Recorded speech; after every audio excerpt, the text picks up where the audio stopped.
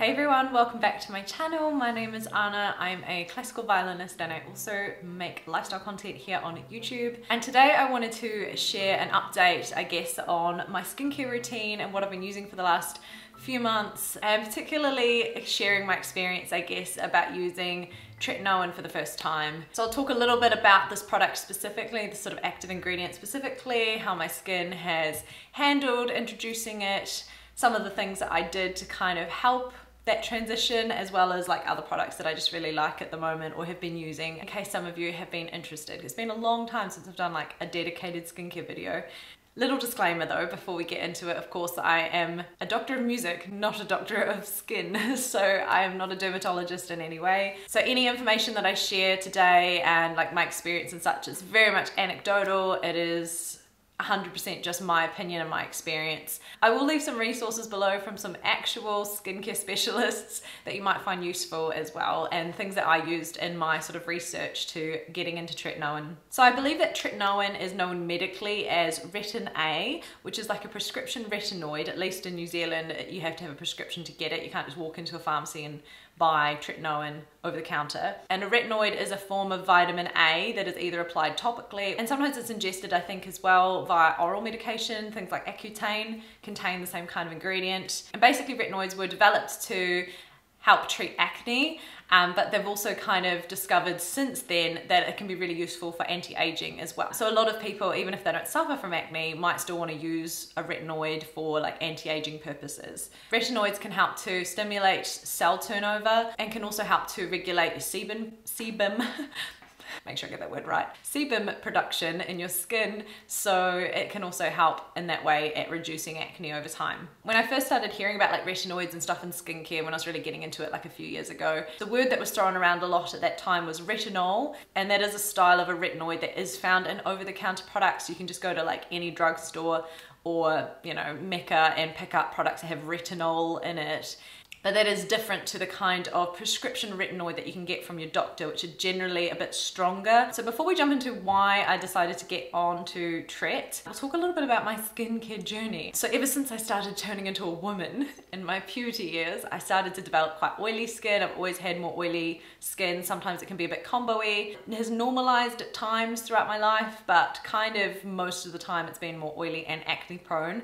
I've never suffered from severe acne. I've always had what I would consider more mild. It's never been to the point where it severely inhibits on my confidence or my ability to like, you know, do life, especially with some good makeup, which is what I'm wearing obviously on my skin today, BB cream and concealer. I will show you some pictures of my skin without cosmetics on. So I've always felt like I've been able to manage my breakouts, even though I've had them pretty consistently for so many years. The one thing that I've always found kind of sad though is I don't feel confident enough to not wear makeup. Like even to film this video, I should probably be sitting here with a bare face. You can see it fully the whole time, but I just was like, mm, I don't want to do that. Even though I show my bare face on here all the time, like always start a makeup video bare-faced, but I don't know, blame the patriarchy. But I would love to be in a position where I could just walk out the door, be completely bare-faced and feel great about myself. Like that would be awesome and maybe I'll get there anyway just in my own confidence. I'm certainly getting more and more confident as I get older but for now I still feel like I need to at least just use like a little bit of concealer on spots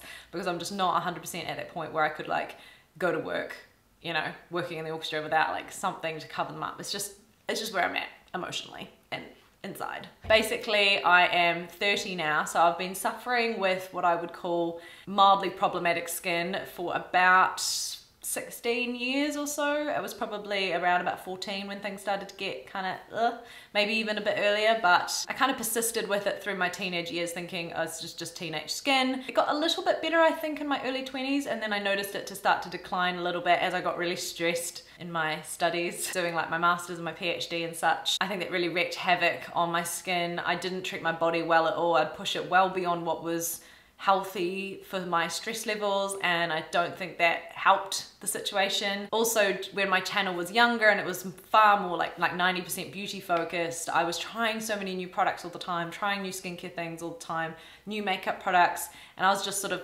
putting my skin through a lot. So I feel like that didn't help either. About two years ago, I went to my doctor in Australia and asked for some tretinoin. I tried almost every other kind of treatment to help my skin. I definitely saw a bit of an improvement with things like salicylic acid and benzoyl peroxide and whatnot.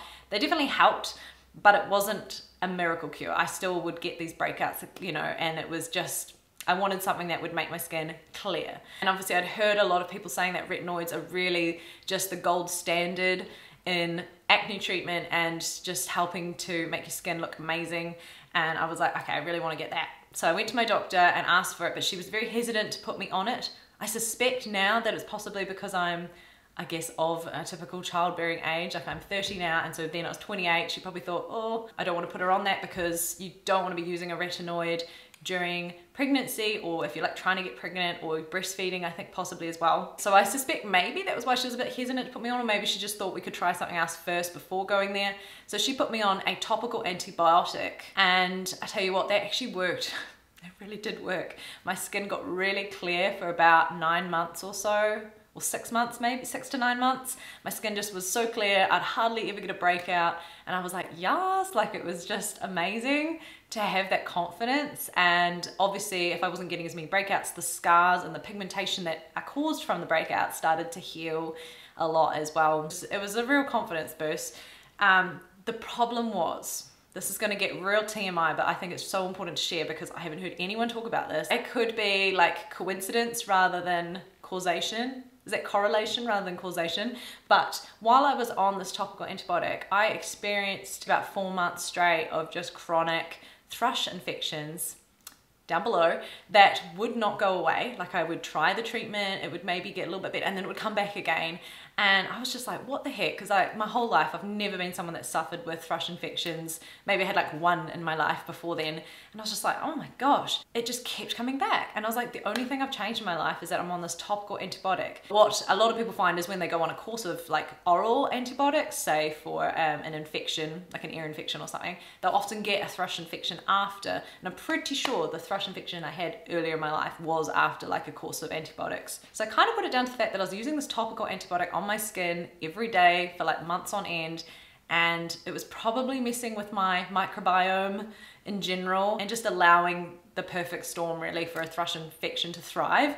And so I just decided in the end to go off it. It wasn't worth having good skin to be persisting with these infections. And literally as soon as I stopped using the topical antibiotic, I no longer was dealing with thrush infections and I haven't had a single one since. So Obviously this is not a clinical trial or anything, it could have just been complete coincidence, but this was my experience and so I kind of wanted to put it out there in case someone else is dealing with a similar kind of thing. So my skin actually did though stay quite clear for a little while after stopping, like a few months, but then the breakout slowly started to sort of come back and I was just like, no. so in December of last year, I went to my doctor here for the first time in New Zealand and was like, please can I try tretinoin? I talked to her about my experience with the topical antibiotic and how it worked, but obviously isn't something I want to be on for a long time. Because I also do worry a little bit about antibiotic resistance, which is like a real thing. So I was like, I don't like being on antibiotics for a long time. So she gave me a prescription for the Retrieve Cream Tretinoin. This is 0.05%. So this is like a moderately strengthed tretinoin. You can start, I think, on 0.025% if you've got a little bit more drier, sensitive skin. My skin, as I say, being quite oily, was probably more likely to cope with this fine. But this is actually not the first tube that I got. It's this wee one. which I've already gone through. So I've been on this for about three and a half months now. So I've gone through a full tube and we are onto my second one. Now, my experience with tretinoin. A lot of people when they go on a retinoid or retinol experience a lot of side effects of like dryness, flaking skin, peeling, very irritated skin. Dr. Sam Bunting here on YouTube has made some really amazing retinol, retinoid kind of videos and so I followed a lot of what she suggested for kind of introducing it. I feel very lucky to have experienced basically no dryness, flaking, peeling, nothing on my skin apart from my lips because even though I didn't like directly apply retinol to my lips, if I'm applying it around where I really need it, which is like the chin area, there is going to be a little bit of sort of bleeding, I guess, of the active ingredient into areas that you might not have applied it. So I did notice quite a bit of dryness on my top lip here and my bottom lip here after a while too. But so where I may have been very lucky to not have experienced severe dryness and irritability kind of symptoms, I definitely experienced a purge because I probably have that more like oily, acne prone skin. As soon as I started using retinol, after about a month or so, my skin really started to get a lot worse than where I started. And three and a half months in, and I'm still dealing with the purge I feel. In fact, it's going into places that I didn't even used to get breakouts, like my forehead and temples. Like I'd get the odd one up there, but I've been getting like a lot more. So that's really disappointing, but something that I've also done a lot of research on and is quite normal.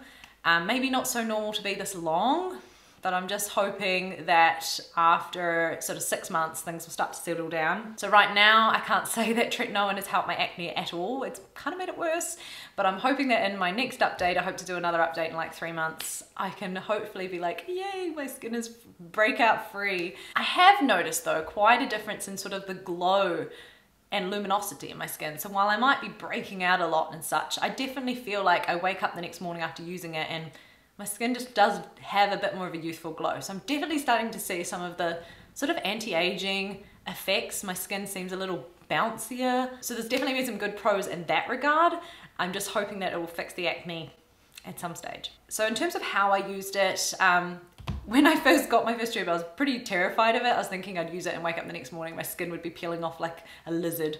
But um, I went quite slowly. I used like maybe half a pea sized amount, like about half the dose of what you'd normally use. And I applied it only every sort of third night, so about twice a week or so for two to three weeks. And I would buffer it with a moisturizer, but not in the sense of like layering the moisturizer underneath. I would just apply this and then about a minute later, I'd go straight in with a moisturizer. So I went quite tentatively and after a few weeks, I was like, my skin looks no different and doesn't feel any drier and there was like literally no symptoms. It was, it was, it was as if I hadn't even started using this. So I thought, okay, I think I can go up to every second night. So I went to every second night for about two weeks and again, skin didn't feel irritated, dry or anything. By that stage, I was starting to see a little bit of purging come through. So then I moved up to every night and again, my skin coped with that fine. It didn't get any drier, but I definitely started to see quite an increase in the purging at that stage. And ever since I've been using it every night. So about a pea-sized amount now. So I do feel very thankful that I've been able to introduce it with no major issues in that regard. I'm just really hoping that in a few months my skin will be really clear. That would be amazing.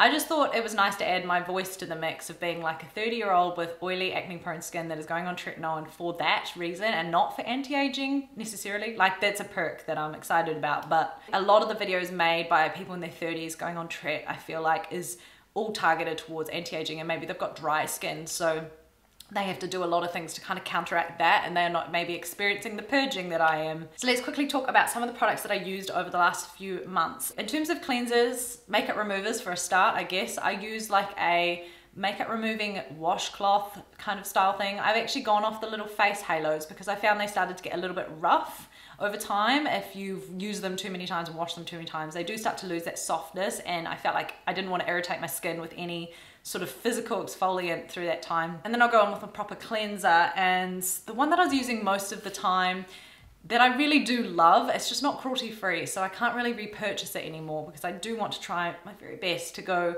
as cruelty free as possible. Anyway, this is the Neutrogena Extra Gentle Cleanser. It's fragrance free. It's a non-foaming cleanser. It's quite like sort of similar to the CeraVe hydrating cleanser which we can't buy in stores here in New Zealand. We'd have to order it online. This I can get in my local supermarket so it's so easy and it's affordable and it's gentle and I found it really nice to use. I've been using it for years even before retinoids. Um, but yeah I just have to try and find like a good cruelty free dupe for this if you know of one, I'd love to find out. I've recently been using this one from Yes Style. It's a cleansing mousse from the brand Aromatica. The name cleansing mousse is very accurate. It's not like a cleansing foam that you kind of get from Western brands. This is like lush, thick, almost like shaving cream. Like it's really plush. I find it quite gentle, even though most people would probably avoid a foaming cleanser during retinol use. I find at night after I've like used my makeup removing cloth, I find this fine. Maybe it's because I have oily skin, so my skin can tolerate it. But yeah, I really do like it. I would use the Neutrogena one a little bit more in the mornings. It's like a really nice morning kind of cleanse. Also, I've kept my skincare routine really, really pared back over the last wee while. I've taken out pretty much all active, so I don't have any chemical exfoliants, no, no benzoyl peroxide products, like literally just nothing apart from just like cleansing and hydrating and then sunscreen. Because I just wanted to let the retinoid just like do its thing uninhibited and just in case using too many actives was gonna like be too much for my skin. So I just peeled it right back. So in the mornings I would just go in with a gel based kind of moisturizer. I am still working my way through my stash of Hada Labo hyaluronic acid creams. These are really lovely gel-based moisturizers, but again, Hada Labo is not cruelty-free, so I'm probably not gonna repurchase this one. And then for sunscreen, it's been kind of the same story, trying to use up my stash of non-cruelty-free ones, even though this is my favorite sunscreen of all time. The Canmake Mermaid Skin Gel. This is a couple of bottles.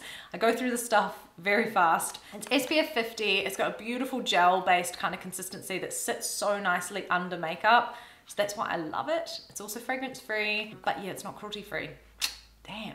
So I have ordered some new sunscreens to try out. Again, I'll update you guys on those in the next video. Hopefully we will have found one that comes even close to that. And of course, I'm waiting with bated breath for Purito to re-release their sunscreens because they also were some of my all-time favorite formulations. And then at nighttime, once I've cleansed my face and such and let my skin dry, I will go in with the tretinoin then. So that's when I apply my cream and I used Dr. Sam Bunting's method of like, I don't think she called it like the 13 point method or something like that, but there's like a certain strategic way you apply it around your face so that you're not like overloading a certain section with lots of the active ingredient and missing other spots. And then my next step is moisturizers, which I've been using this one from Purito for the last few months because of course I was a bit worried about my skin getting like super dry and flaky. So I decided to get a kind of more intense night cream than I was using that has some really good like skin barrier repairing ingredients. So this is the Purito Centella Unscented Recovery Cream and it's full of really beautiful nourishing ingredients, emollients and occlusive ingredients as well as ceramides so it's really great for like repairing the skin barrier. And I found it to be a really nice texture for my oily skin like it wasn't too heavy and thick. And finally we'll talk a little bit about lip balms that I've been using. So obviously when my lips started to get really dry on the top here I started to use this lip sleeping mask from A'Pieu. This is their honey and milk lip sleeping pack. I mentioned this in a favorites video, I think the month before last, and this is really good. Like you can see, I am right down to the very bottom. Just got a tiny bit left. And I do actually think I'm gonna repurchase this because I do think it's helped so much with my lips. Like they'll get a little bit dry sort of throughout the day, especially because I like to wear like matte lipsticks like I'm wearing right now. So my lips do tend to get quite dry throughout the day. Um, and I found that this is really great at least just healing all of that by the morning. You've just got to make sure you use enough. I think with lip sleeping packs, a lot of the negative reviews come from people that just sort of go, eh, like that, and then put a little bit on. But you've got to really like scoop. Like the reason I've gone through it so fast is because I've actually been like scooping it out and applying like the thickest layer you can kind of tolerate on your lips and it sort of cocoons them so that it keeps your lips completely kind of protected overnight and you wake up in the morning you still have a little bit of like residue on your lips. It also has a very very, very subtle scent. It's nothing overpowering. It's very just like, you know, warm and comforting like honey. It's actually really lovely. So I think this brand is cruelty free. If it's not, I might have to try something else, but I hope it is. I'm pretty sure A'Pieu is cruelty free. I can't remember. I know that this was quite sort of a rambly conversational skincare video. Like it wasn't like me going through and vlogging my actual routine in the bathroom, but I just felt like I had just a lot to kind of chat to you guys about, like with my journey, and it was just gonna be easy to kind of just sit down and talk to you about my experience. If you are not yet subscribed and you want to follow my tretinoin journey, then definitely subscribe. I'll be doing an update video in another three months or so, and hopefully we will have some better acne results. but once again, thank you guys so much for watching, and I'll talk to you in my next video. Bye.